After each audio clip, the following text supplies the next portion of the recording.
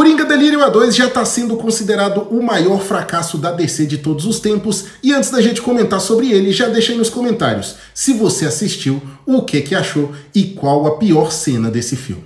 Quando Coringa 2 foi anunciado, principalmente por ter Lady Gaga no papel de Arlequina, a hype para ele foi instantânea. Mas por incrível que pareça, é unânime para todo mundo. Esse filme é muito ruim. E olhem que não tem nem tanto a ver com ele ser um musical. Muitas das pessoas que tentaram assistir esse filme nos cinemas acabaram desistindo no meio da sessão por conta de algumas cenas um tanto quanto perturbadoras.